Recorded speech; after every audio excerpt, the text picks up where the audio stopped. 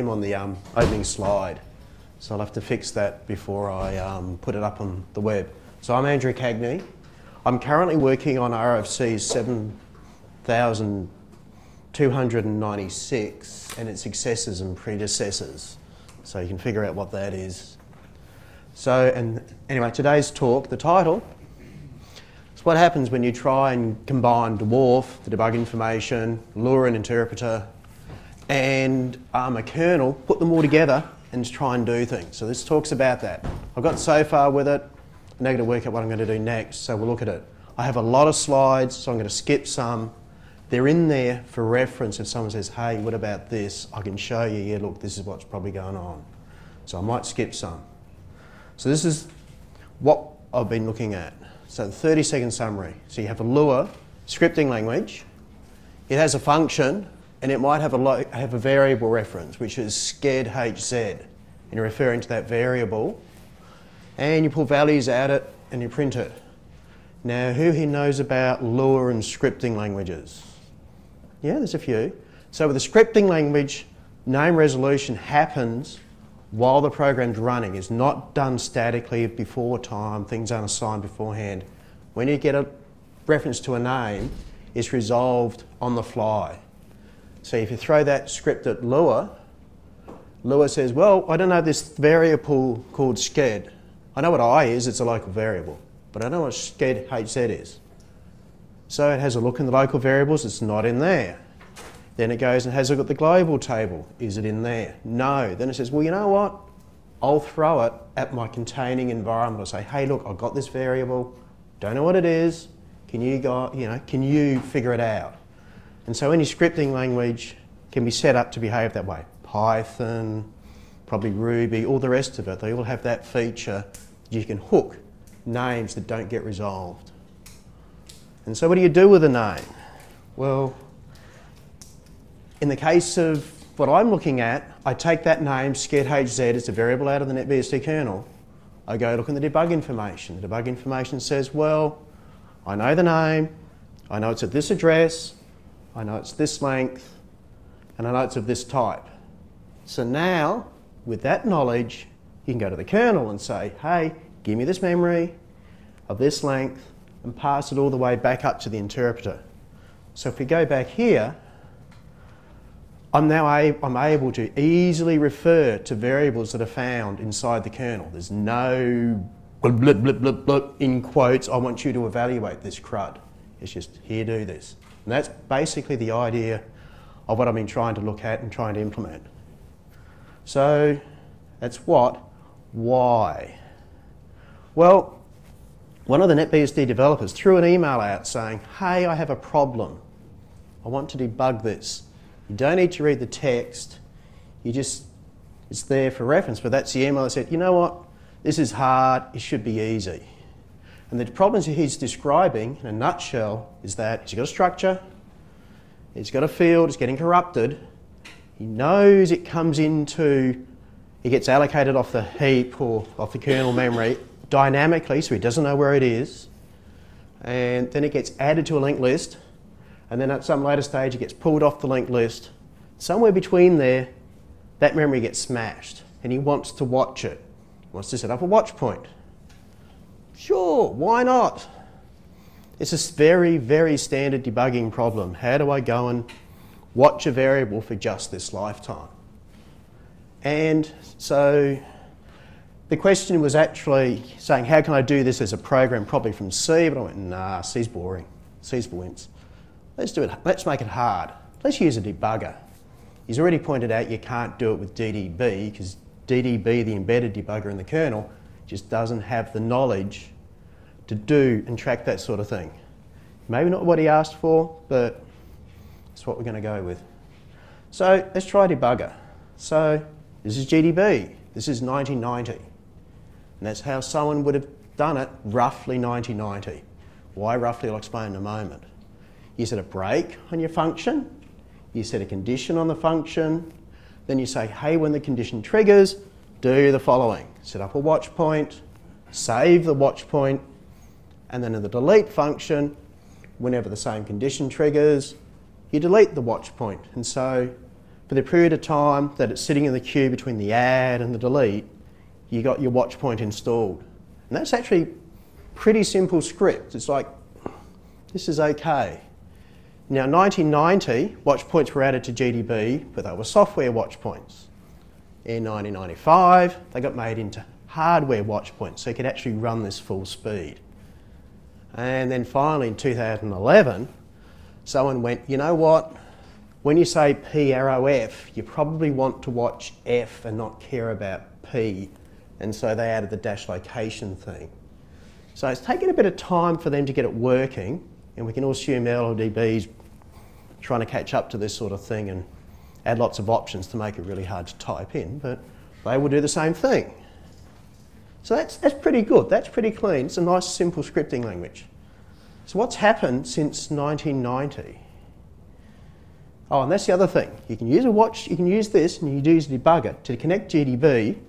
You've got to use, what have we got here? We've got a um, proper serial, serial port and of course we've got a JTAG device.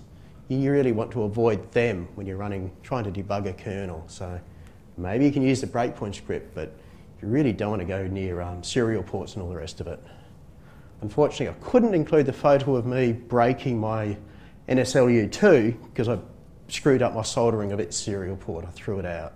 Wish I had that one. So, okay, that's a nice simple way to solve this problem of watching two you know, watching a variable inside a kernel, catching the bug, seeing what's going on. But the cool thing at the moment is debugger extension languages. LLDB has one. So let's look at the history of that. The first case I could find of an extension language was GDB and Tcl in 1999. A guy called Stu Grossman, I believe, basically plunge and Tcl into GDB and got the two to kind of work together. And then a second guy, Jim Ingham, started to clean it up and make it work. But the key th thing was, it wasn't really a scripting language for end users, it was a scripting language for debugger developers. And so it was all about the internals, it was not about end user experience. But that was 1999. Then, 2003, technically before then, but 2003 was a release that officially had it, GDB added this thing called MI. Now, ha ha ha, suffer LLDB, suffer. Because LLDB's implemented MI. You can blame me. So what that did is it added a framework for interacting with a debugger through a well-defined interface. So you could do things like add a scripting language. That was in 2003, in fact earlier. Tcl/Tk used it, but nothing else happened for a long time. Then in 2005, I was working on another debugger called Frysk. It was written in Java. I do not think you want to write debuggers in C or C++. So it's in Java. Okay, let's get better scripting language. Java, it's dead easy. You just suck in Jython and hey, look, you can do it. But look at this, don't, you don't care about what it's doing, you just look about how many characters it's taken just to create a process. It's like terrible. I looked at this when we did it at the time, went, no, this is wrong. Let's just leave that to one side and focus on more important things. But hey, we proved the theory. Then in 2008, and again in 2014, GDB finally added Python bindings and then Go bindings. but again, look at the syntax. And you go look at the LLDB, they've got the same issue. They have these funny functions that get past strings to say, hey, look, give me my variable. What is my variable? Oh, look, here it is. Now we can start doing funny things with it. That's not for an end user, that's for someone that's hacking on the debugger. In Guile, same thing, because it's using this MI interface, it's basically been implemented the same way. Let's go and grub around the internals and expose all the internals to the user. Like, that's terrible.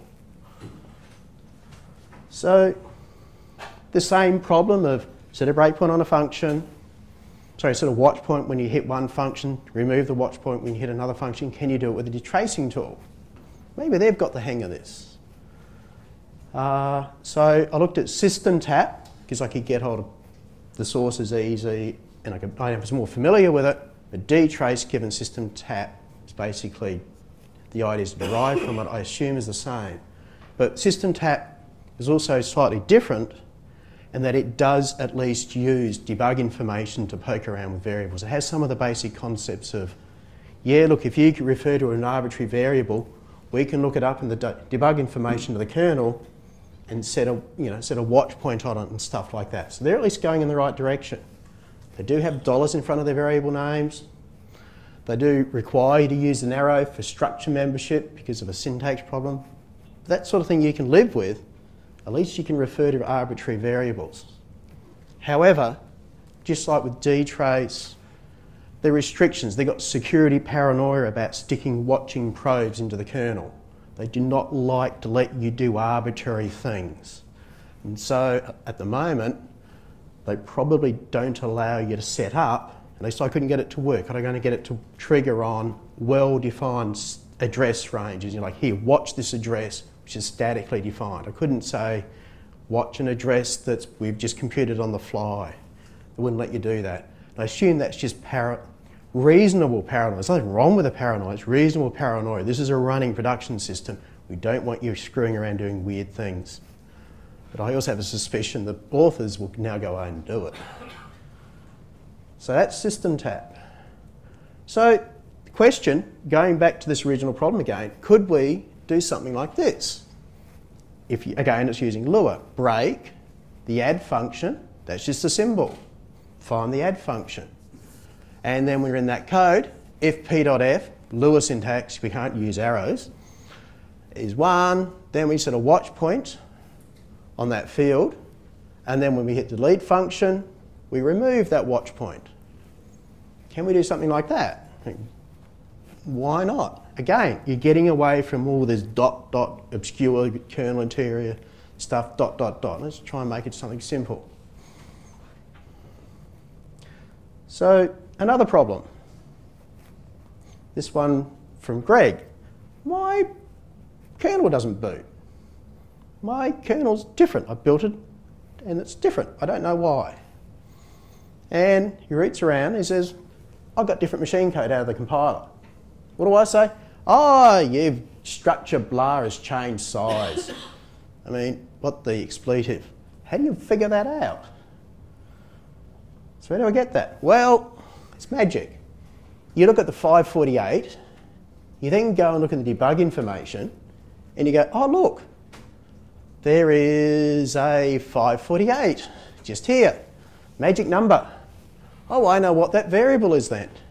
From that variable, oh, I know what that type is then. From that type, hey, it's probably this has changed size because if that size defines how things are put on the stack. That's, you know, I know I can do that and I do that in my sleep because I've done that in day jobs. Typical people don't do that. So you go look at languages that have tried to do dwarf bindings. What do they look like? This is just a random language I pulled off the web.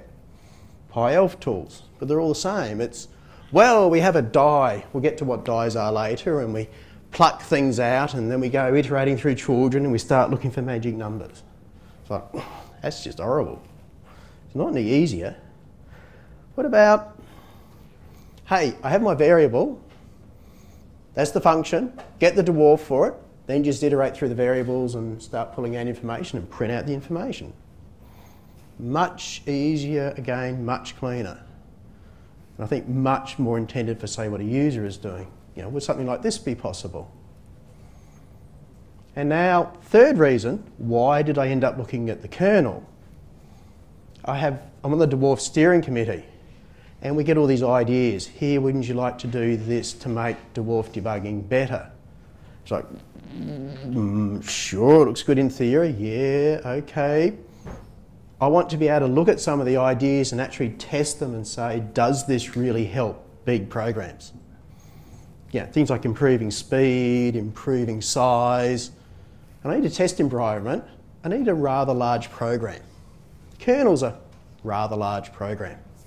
So I figure, yeah, let's just try and use the kernel. Actually, it's, it's in fact a bigger program than the first programs I prodded to do with size problems. You know, customer at a company once came up and said, we can't debug our program. Why not? Every time we try to debug it, the machine stops. Oh, how big is it? Well, the debug info is, you know, a couple meg. Machine is 500 meg. This is a few years ago. And so they ran the debugger on it, and the debugger would go and get this half mega data and turn it into more than half a gig of internal memory information. It's, just, it's this expansion, this bizarre expansion. It's like, why? And so all the emphasis now with Dwarf, a lot of it is to do with don't do that. Leave it on the disk. Leave it where it is. Have fast index tables, fast lookups, so you can just pluck out the thing you need. And so I need a big data set to say, hey, look, is this actually working in the real world? Ah, kernel's a good C program. Makes a challenge. So now how? The theory. You're actually doing okay for time. So now we get into what the heck a die is and a CU is and all the rest of it. I'm afraid this gets a bit dry, so try me fast. So in Dwarf, you have sections. Yeah, if you ever do obj dump dash um, S, probably big S or something, you see all these sections, dot debug this, dot debug that, dot debug everything else. Most of them are not relevant at the moment. The key one is debug info. It describes your program. It really describes your program. It describes every single detail of your program. Describes where your functions are, where your variables are, whether in registers, memory, blah, blah, blah. It describes everything. And that's why it is so big.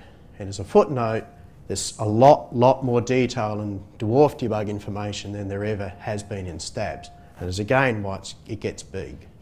But at least the information's there so you can find stuff. So here we have a simple function, f, with some calculations with a global and a local. And so you see the bottom one first, that is for the global g. So it says, hey, look, we have a variable g, its type is at 0x61, and we go up to 0x61. Oh, that's a type, it's assigned int, and it's of size 4. So that's just described it. It's implied because of other things that this is whatever the byte order is on that machine, but can actually tell it, hey, look, this is a khaki Indian, so it's a little endian machine, because you're running on a proper big endian machine. Um, and then you have a look at the function. The function says, hey, I have function f, that's my name, I'm at an address, I have a parameter, and my parameter, p, is at fb reg minus 36. So it's on the stack at the frame base, offset down 36. So with that information, you can find everything to do with that program, the global, the function, everything to do with it. You can use that information. But it's big. For the kernel, it's about 16 meg. Really big. Now to use that information, you can then construct an object. So you have a name, like a variable g. It has a lot type. It might have an int, so G, in our case, G has an int type and it has a memory address. You might have a more complex structure like a struct that's an int 64 and an int 32, something complicated like that. And you see that the top one is the types, and then the bottom one is where each byte of that type is at the moment. This, at the moment, happens to have 32 bits, say, in a register, 32 bits in memory, that split, that 64-bit int's been split for some reason. Compilers do weird things.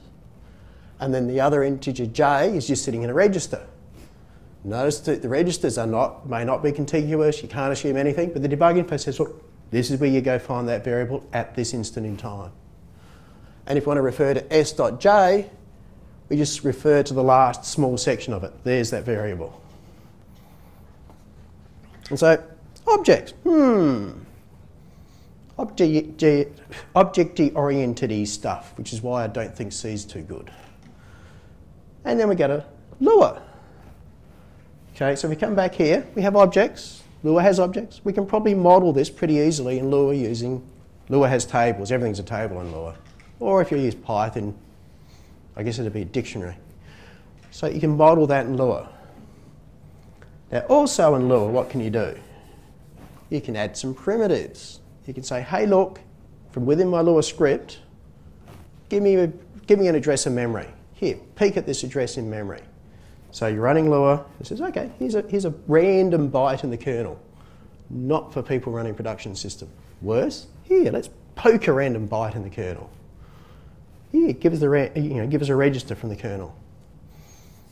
And referring again to this previous slide, you have a type, you have a location. So we can implement a location as a sequence of little bytes out of the Lua memory, out of using peek. Just if we want byte one, we get byte one using a peek. We can implement that.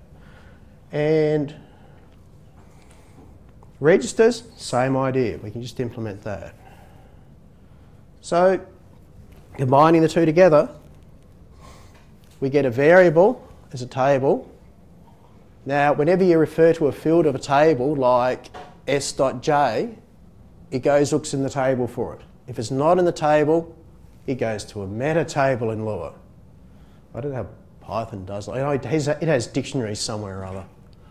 So, and in the meta table, there's a function called index. It says, hey, look, I want to know what j is. And so you call the index function. It says, all right, let's go look up the dwarf, find out where this variable j really is in memory using the debug information, and then we return an object describing that this variable s.j is in this location here and it has this type. And if you want to do a two, you know, things like if you go my variable to string, turn it into a string, other functions get called and they can be dealt with the same way. So we now have a way to map, in theory, the dwarf, the Lua constructs and Lua expressions directly onto dwarf.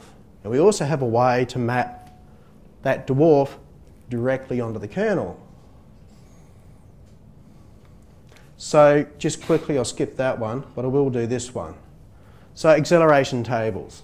As I mentioned, the dwarf is 16 meg in size for the kernel.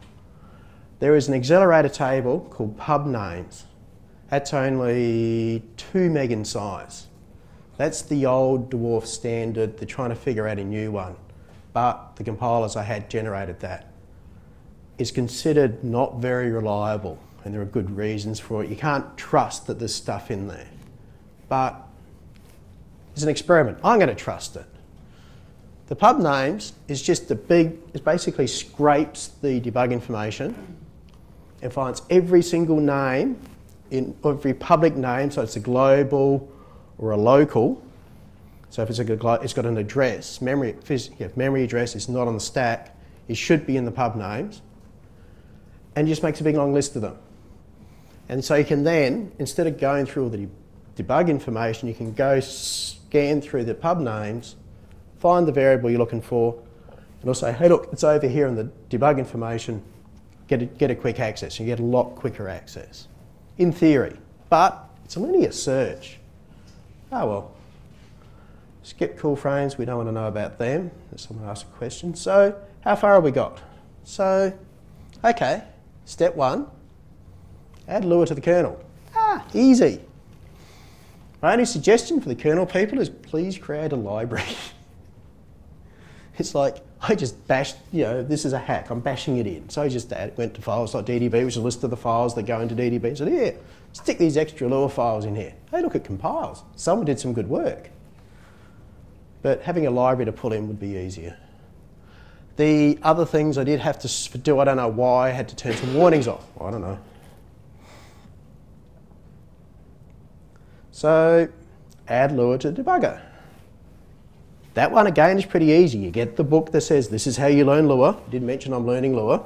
You copy the text in, then you discover that it's for the old version of Lua, and you go and read in the internet. The internet says, well, this is the same code for the new version. What do you do?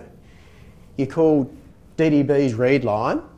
You remember to change the prompt to Lua, otherwise you get very confused, as I did the first time this worked looking at a DB prompt going, oh man, this hasn't worked, I've screwed up something. So you have a Lua prompt, you pull in the text, throw it at Lua, tell Lua to interpret it, and then repeat. This is the really simple version of a loop. There's a more fancy version, but ah, that works. And for the moment, at the moment, for the moment, I'm, you go into Lua, you do operations, and then you just drop out, and it tries to garbage collect everything. Really I should keep the Lua state around. So when you come into DDB a second time, you have all the old Lua state with you somehow. Ah, this is an experiment. So far, so good. Find a bug. Always find bugs. So, simple thing. Look, it all works, right? You print 100,000 or something. No, it's one, two, three. Print a million, and you get back 100. Ooh, what have I screwed up? Thankfully, that one wasn't me. Someone somewhere decided that you could alias snprintf because you, Lua uses sprintf to be s and the size of s. And of course, if s is a pointer, size of s is 4. Doesn't matter how much buffer space there is. So one bug. Then the interpreter starts working. That's pretty good again. Next thing. All right, we need our debug information. NetBSD already churns out a debugged, a dwarf version of the kernel. It drops it in. For some reason, it's called GDB. I'm sure someone's going to say, hey, let's change it to LLDB in the next week, or whatever. So you take that kernel, and at the moment, what happens is that GDB, the bug kernel gets pulled apart, and you end up with a stripped kernel, and the stripped kernel is what you load into memory. I'm doing the opposite. I'm throwing away all the useful bits and keeping all the debug information. And so what numbers do we have now? So we have text to the kernels, couple meg, data is 0.3 of a meg. I think my numbers are right. netbsd.debug is 18 meg. This is getting big. So a total of about 20, 22 meg. So I've now got 22 meg of stuff I'm about to go and stuff into a kernel. Sidebar, what do we get for all that money or memory? You get debug, okay, I was out. It's 11, 12 meg of debug information. The abbreviations, don't worry about that. Um, strings, every name you see is in the string table. A ranges, accelerator table, quickly go from an address into the debug information. Line number table, hey, you stop somewhere. Tell me what the file name of the line number is. Yeah, it's only a meg. Pub names, like I said, is 2 meg. I think the new one, the proposed change will be bigger. Locations, ranges, that's all to do with finding variables and finding addresses because things aren't necessarily contiguous. And finally, debug frame, that lets you do unwinding. Just a sidebar. So NetBSD kernels, for some reason, include unwind information. I have no idea why. There's no unwinder in there. If you go into DDB and it wants to do an unwind, then probably you should just stick the debug frame information in a side and use that if you're really going to use an unwinder, which is what I'm looking at anyway. So get this huge big 18 meg blob, stuff it in the kernel. How do I do that? Again, easy. Someone's done this before. Maybe not like this, but hey, what do I care? There's a thing called copy symtab to copy the old-fashioned symtab into the kernel. There's also stuff to copy RAM, memory into the, sorry, file systems in the kernel, all that. So I just steal that code and bash it a few times and there we are. We have a 22 meg kernel. Here's our kernel. And here's this huge, huge chunk of memory containing all our symbol information. Easy. Ah, find a bug. Which, to be honest, is pretty surprising. Again, only one issue. I mean, who in the right mind builds 22 megabyte kernels. So the bug was on the ARM.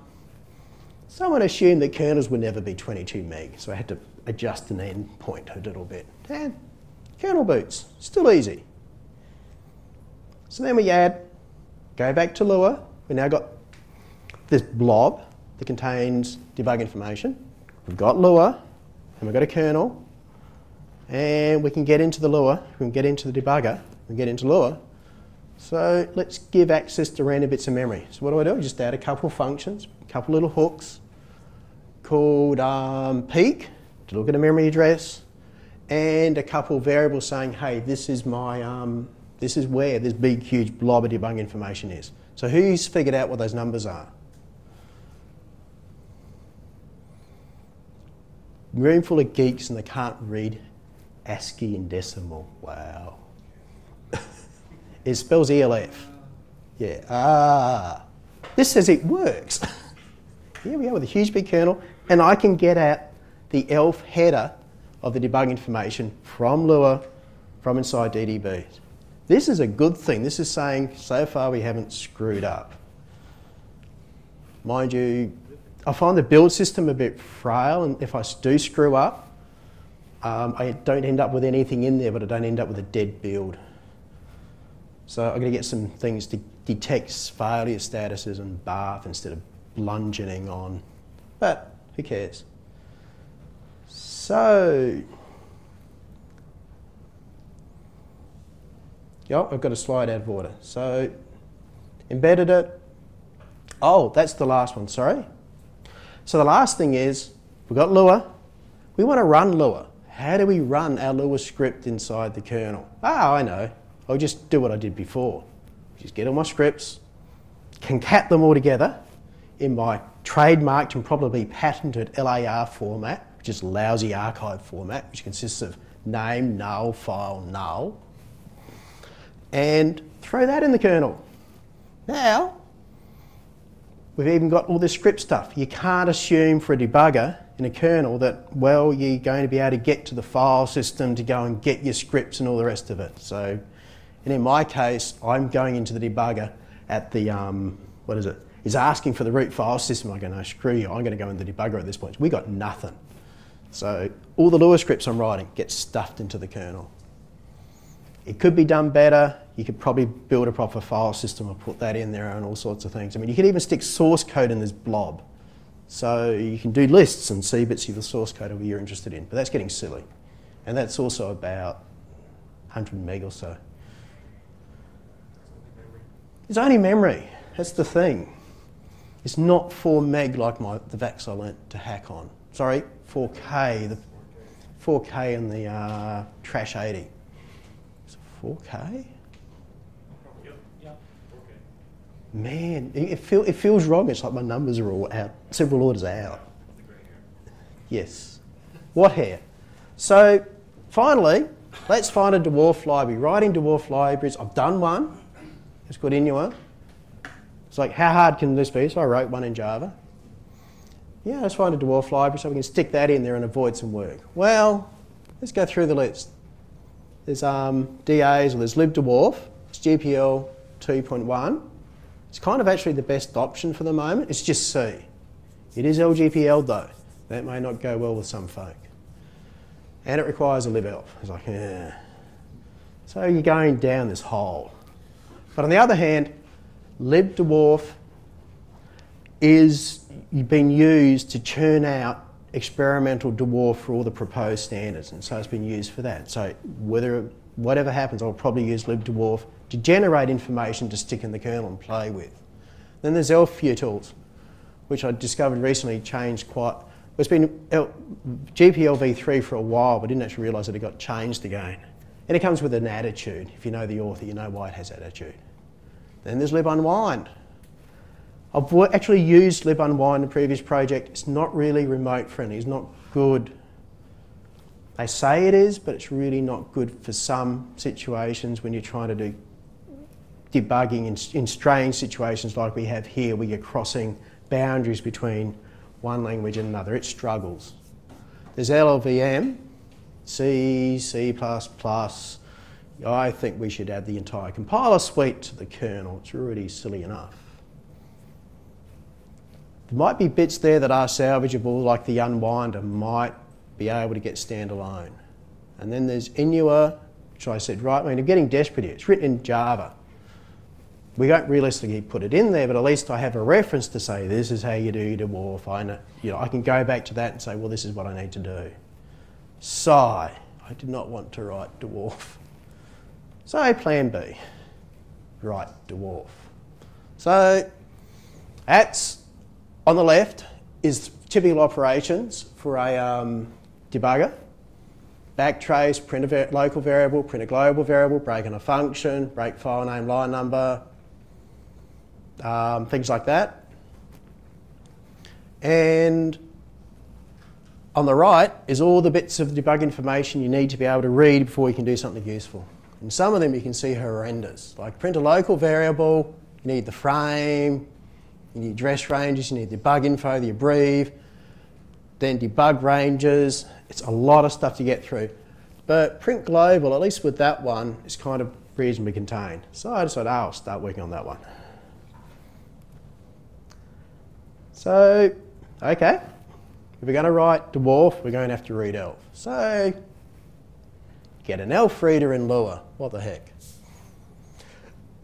Yes, my syntax is messy. I'm still learning Lua. I should not need those parentheses, but I do. So, require DDB. DDB is a little object written in Lua, stuffed into the kernel, here around the Lua, and it gets given the address of where my debug information is. Says, hey, look, here's an ELF file, an 18 gig ELF file. It's, you know, 32 bit, R, blah, blah, blah, blah. Here it all is. Hey, I can get it by ELF. Then we go and parse the pub names. We have our ELF. So the next thing to do is pass that to Dwarf and say, hey, look, go look up main. So he goes off to debug information, scans it all. Footnote here, remember, I'm using little byte peaks doing this. This is going to be rather slow. Scan through the whole thing. Worst case, linear search, got to go through the whole two, was it two meg? And it takes 30 seconds. Ah, okay. Time to take a step back. Time to go and find a faster table or a better library. So that is actually how far I've got in coming up to this. So what have I learnt so far, having got just that far with this silly exercise? Well, the first thing, Lua has a dark side. Yeah, the irony, yes. So everyone says Lua is wonderful, but things you can't do that are going to make it to be a pain. Simple one is arithmetic. There's no thing to say, given my object, turn this object into an integer for me so that I can do integer arithmetic easily. Instead, I'm going to have to implement all the little functions that do add, subtract and all the rest of it for all my objects. And it's also, I suspect, going to be a bit painful when it comes to dealing with a variable plus one, doing all the hooks to do that. Because Lua won't let me say, here, this meta table here, I want to do an override of that so I can play funny games with it. Lua doesn't pass what's known as the copy-paste test to debuggers. I think people can live with that. The copy-paste test of a debugger is you go to an arbitrary bit of your source code, copy it, throw it into the expression evaluator, and it just prints out the value. It's a really high bar to set, and with Lua's syntax, you can't meet that bar. Maybe we can hack Lua a bit to be, a, you know, let a few more things through. But again, I think we can leave that. Someone does arrows, I can change them to dots and whatever else. So just, again, it's a limitation. And the other one in doing all this, I found I can't overload properly the equality operator, some of the operators. So for instance, if I want to compare a variable to a string, you read the manual in a shallow way and it says, yeah, you just override this thing called EQ and it'll get call, called and it will work. No. Lua has tricks in there to do it's just with strings and doing comparisons. It says, yeah, I'll only do this comparison if it's one of these special cases. If you do a string, doesn't work. It's like, so again, you're going to have to come up with some hack to get around that. If anyone knows Lua and can tell me how to do this and say, no, no, no, you're wrong, you just do this, please, please tell me. So, what next? Ooh, good timing. Or, you know, what to do next? I've got so far, things haven't gone completely pear-shaped, but I'm hitting problems. So the first is I've got to have to change DDB so that when an, event comes in, like a watch point trigger or something, it goes straight into the Lua interpreter. DDB is going to go to one side. If I have that coming in, then you can start to say, hey, look, set up this watch point on a watch point and run this script. And of course, dwarf, test, more dwarf, test, more dwarf, and more testing of that. So the hack kernel and all the scripts are up on Bitbucket. And I got an email from Bitbucket saying, don't create repos more than two gig in size. It's only one point something gig. They don't like that. Um, so other than that, any questions or anyone wanting to know any information? Yep.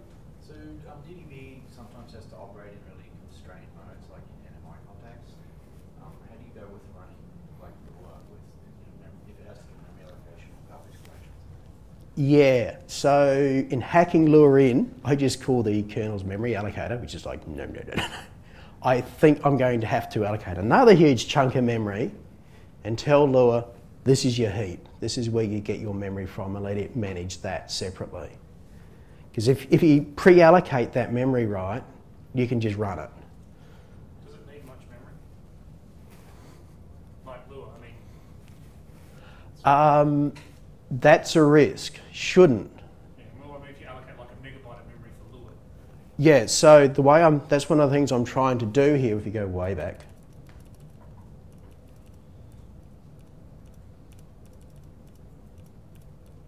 So here, like I said, traditional debuggers would, they had a lot of data to suck in and it was stabs and there was no indexing table, nothing. So they would just try and speed up by sucking it all into memory. And that is a lot of memory. So trend now is just literally leave everything on disk and drop stuff if it's not being used anymore. And if that's going on, yeah, it should really constrain the memory requirements of it. But I haven't looked at that. I mean, the, scanning all the pubs, like I said, it takes 30 seconds. Every single string it's pulling in at the moment, it's creating an object, but the object has just been dropped on the floor, and so the garbage collector would be kicking them out pretty quickly. And if you told her, no, no, you've only got this much space, it'll really aggressively kick them out.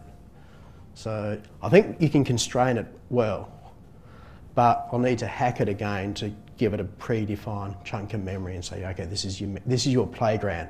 The other reason is, to your point, um, Lua should not be screwing around with a memory allocator. If you're in a debugger, you should leave the memory allocator alone because you're probably debugging it. Sorry, in the back? Yeah, have you thought about um, for since you're putting all the dwarf stuff into memory anyway? Um, Well, that's that's the thing. Is like, can we do this? Turns out you can. Now let's just play. so, so have you thought about uh, writing some thin set of? I mean, basically, since you're putting it into memory anyway, you, you should be able to put it in whatever format you want. So if you want to put it in the form of a hash table instead of the flat list it's in now, you can do it. And you could write a thin C, very thin C function to go get the data you want out of the hash table. like pre-process it before you. right. So Before you put it in, and then have a thin C function that you know you make available in Lua to go get the data. So, have you thought about anything like that?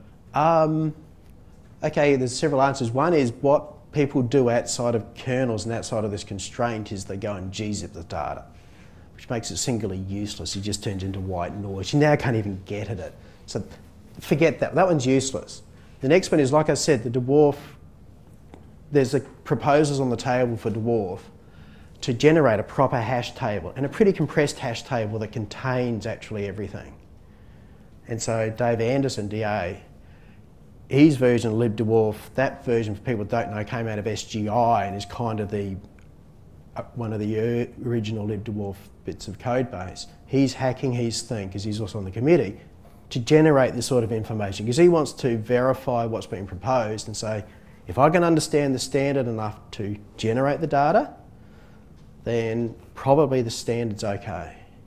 And in my point of view, I'm saying, well, if you're doing that, I'm quite happy to take this compressed information, which we probably like what you're proposing, and stick that in there instead.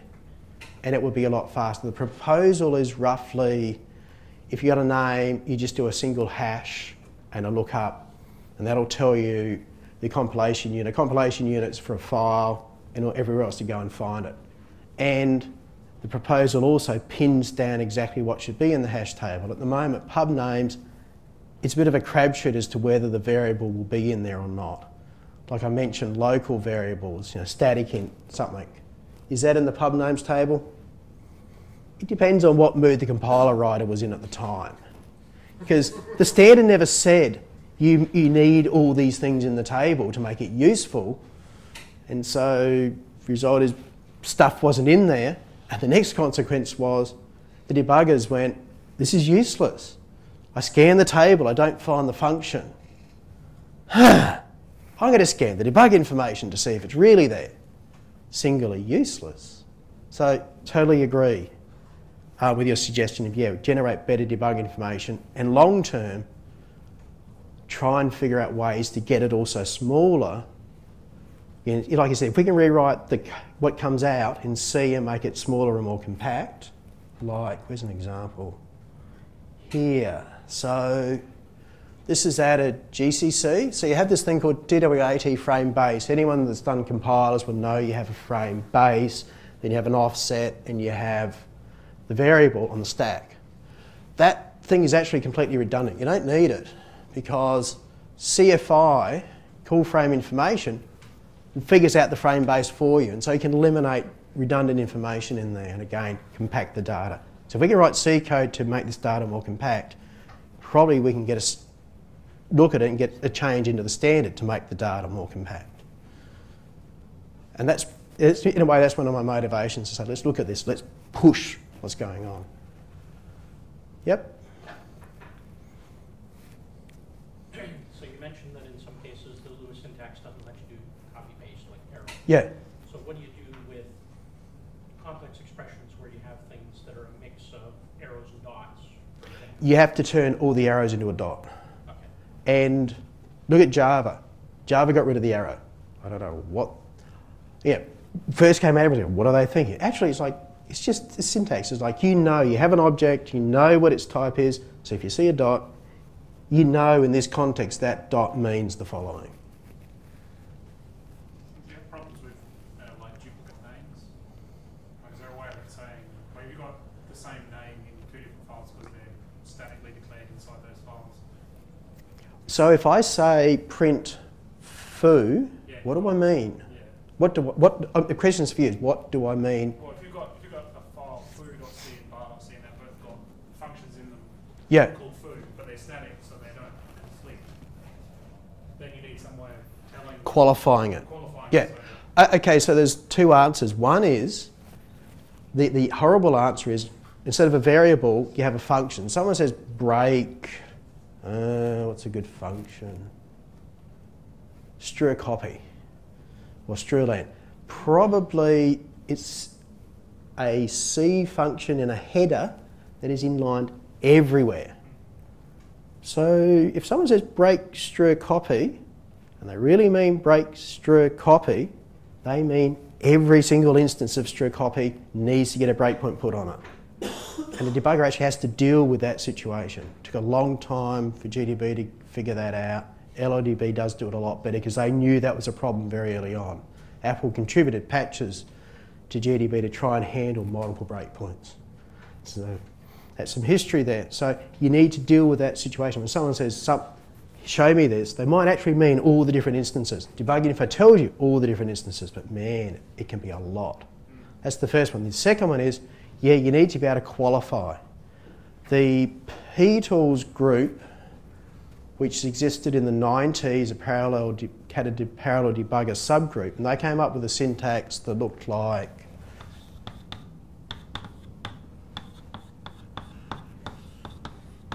that.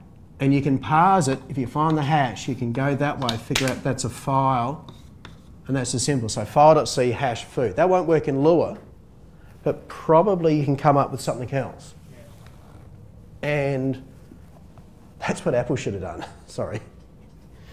That's the way to specify the file name and a local variable of a thing. It's act- it's actually a really good syntax. The people looking at it must have been thinking, you know what?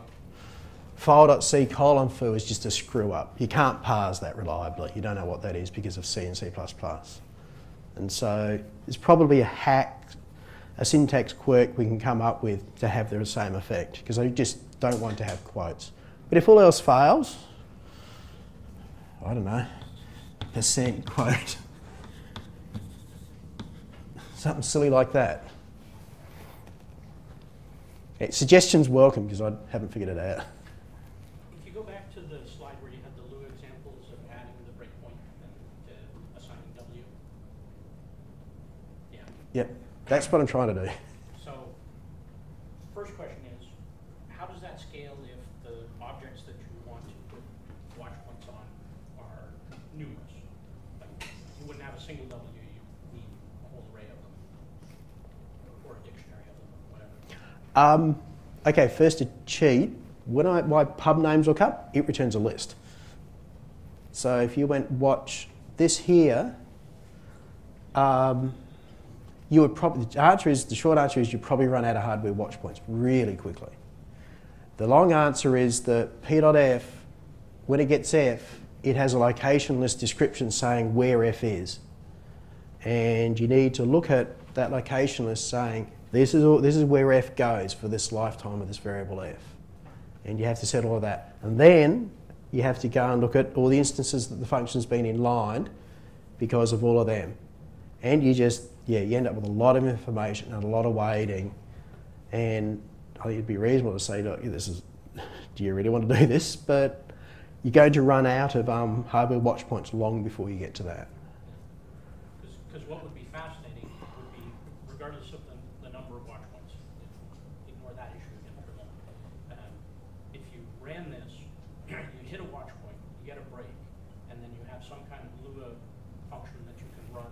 Sure, I mean- point Where you say, ignore this one, this one's valid, like basically disable the watch point immediately before this and re-enable it after this, because this operation is one that's working correctly.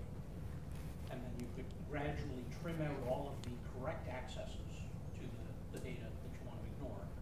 And then, you know, let it run for a while until you trigger the, you know, the Heisenbug. You kind of have to start out with a single, in in single stepping, which would be horrible because you'd probably run out of watch points. Or you, with an, I mean, another evil way is if you know rough, if everything's constrained, you get into high performance buzzword breakpoints and stuff, um, where instead of setting the breakpoint on this little bit here using a hardware register, you get rid of the page. Or you do something that just will force a page fault for an entire chunk. So that gets your breakpoints to scale a lot more. And then from there, yeah, I mean, if it's got the data structure and the data structure, which will be a list of, well, when we send watch here, it's actually this big long list thing. You start pruning them out and saying, oh, get rid of this entry in the list, get rid of this entry in the list. The key thing is you, get, you want to make it accessible. And sorry, Python is the way they embedded Python in GDB and LLDB is just terrible. The Python one seems to be basically execute this mo- GDB command as a string. From what I looked at it, it would be quite helpful because the GDB syntax is already pretty awful. It's not a good thing. to It, it's what was it called yesterday? It's um, I can't remember the word, but it's evolved and it do, it has all these horrible quirks. But on the other hand, you can go break something and it always works. You don't have to go dash dash file as this, dash dash line as this, dash dash something else. It is more because the um, truth is, if someone hits that, they're not going to use the debugger. They go, Apple's users don't use the debugger. They use Xcode, and Xcode happens to use their debugger. Sure, they'll disagree, but that's the truth. Yeah. Um, you mentioned that you were getting the elf debugging from looking at a RAM disk in the kernel. Yep. Would that be something that in the future the bootloader should be doing? It's in the kernel, so. Actu oh, We load it as a logic. Well, it's just, it, it's already in the image, so the, the bootloader, if, I mean, I presume you did that because it's ignoring those. I did that because it's easy. It's like someone's done this. Someone knows how to stuff extra blobs into a kernel, so I'll copy that code. You thinking more of the lines of you get the not the hang on which loader you get the preloader or whatever it is prompt, and at the preloader prompt you say here load my kernel.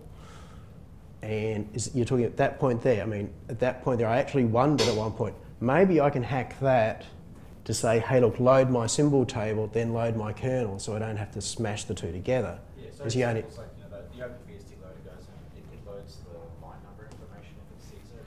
Yeah. The image, but it ignores other things, but it seems like you can just say, okay, well, here's a list of um, dwarf sections that if, I see them, I'll actually load them. does it tweak the um, header for the debug info?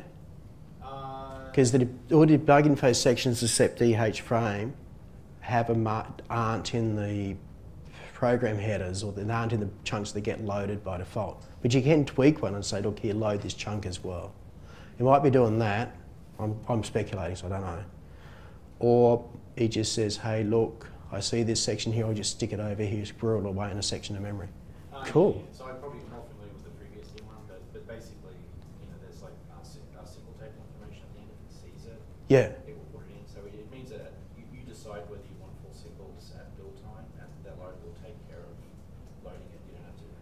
That's a good idea, yeah.